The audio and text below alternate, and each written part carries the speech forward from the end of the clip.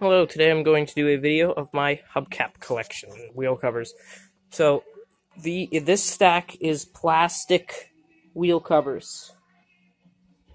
This stack is metal wheel covers. This stack is center caps, plastic and metal. So let's get started. We have a Toyota. Not sure what kind of Toyota. It says 9S, I think. So that's a Toyota. This next one is a Subaru. It says Breakneck Road Hill 2013. I believe it's an Impreza, but I am not sure. This next one is a broken Toyota. It's all dirty. I picked it up because I thought it was cool. This is a 2013 Ford Fusion hubcap. This is another 2013 Ford Fusion hubcap, probably off of the same car. I found them about 200 feet apart from each other on the same road. Here's an aftermarket. It says S plus D. It's a pretty nice aftermarket. Got a couple broken clips. Here's another aftermarket. I found this the other day. Uh, it's very shiny. Don't know the brand of it. Here's a very scratched Ford hubcap. Not sure what kind again. It says Ford. Here's a massive, probably 17, yes, 17 inch aftermarket. It is huge. Here is a Chrysler Voyager one, Plymouth Voyager one that uh, I took off our minivan. Well, I didn't take it off the minivan. I grabbed it when he when the wheel covers were changed from these to metal ones. This one I found a couple hours ago. This is actually, I've been looking for one for a while. This is a Ford Transit Connect. Let me get that to focus in. There we go. It's very shiny. It's a Ford Transit Connect 2010 to 2013. Ford Transit Connect. It's pretty nice. I mean, it's got a little bit of broken there, but I have been looking for one of these for so long that I just decided to pick it up.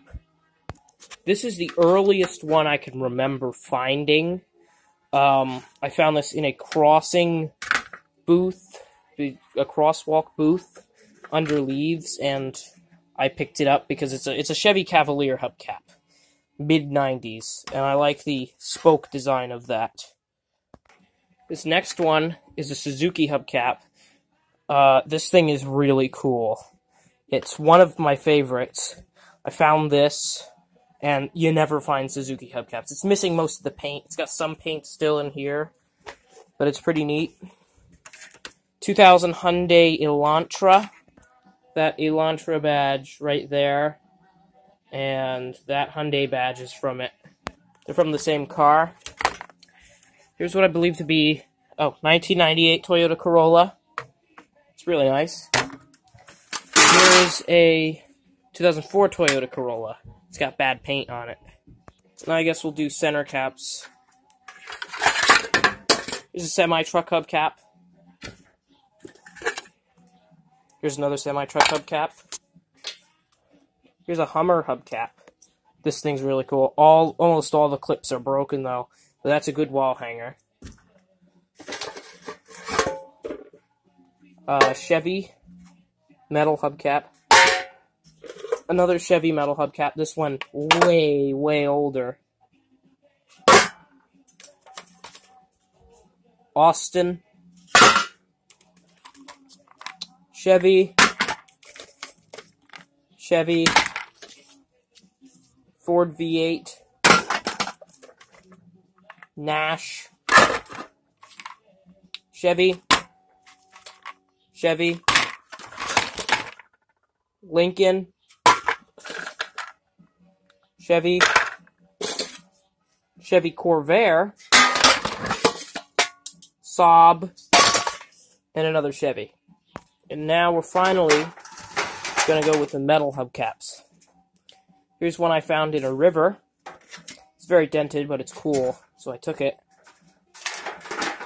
Here's one from a Dodge Aspen Plymouth Volare style car, one of those 70s. Uh, I found this in the woods. Mercedes, I believe to be one, two, three or earlier. Um, I got that from my neighbor for five dollars. Okay, now this one has some controversy around it. So, that, I would say, is Peugeot. As you can see, if I can get my camera to focus in, that has the Peugeot lion, right? This looks very Peugeot-esque, with the knight and everything. This looks very French, even the hubcap. Design. But, I've seen hubcaps, they call these Lion, L-Y-O-N, aftermarket hubcaps. I'm not so sure. I found this in the woods too, but I I'm not sure if this is a Peugeot or an aftermarket hubcap. Found this in the woods. It doesn't have a center cap. Found that in the woods. 49 to 50, 51 maybe, Oldsmobile. 40s DeSoto. early fifth, early to mid fifties Chevy, and Ford Mustang. This is a cool one. I bought this from my neighbor for seven dollars. So that's the hubcap collection, and I'm finding more each day as I go actually looking for these now.